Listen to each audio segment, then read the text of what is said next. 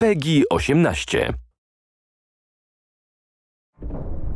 Do you ever dream of the big score?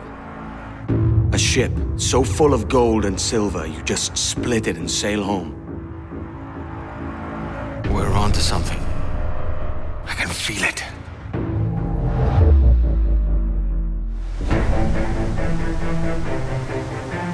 Raise a glass, lads. Here's to gentlemen of fortune and women of leisure. The word is, Cuban governor himself is fixing to receive a massive gold from a nearby fort. Governor Torres himself, eh? Sounds promising. It's just sitting there. Itching to be took.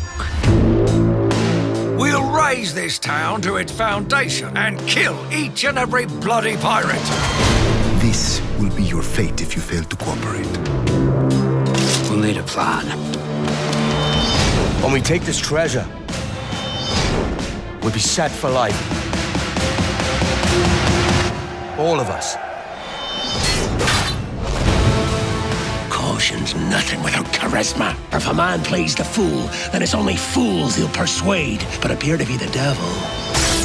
And all men will submit. Oh, you're a hard heart that should be softer. Or soft in parts that should be hard. You'd like to know my secrets, would you? Chase those bastards down. I'll murder the men who stole my ship. Burn you bastards!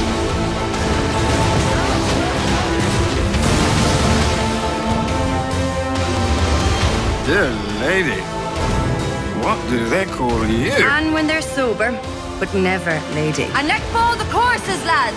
We're sailing for Jamaica. All those in favor of storming this cove and taking this ship, stomp and shout aye! Those who oppose, whimper nay! Stations, lads! Today you fight for your lives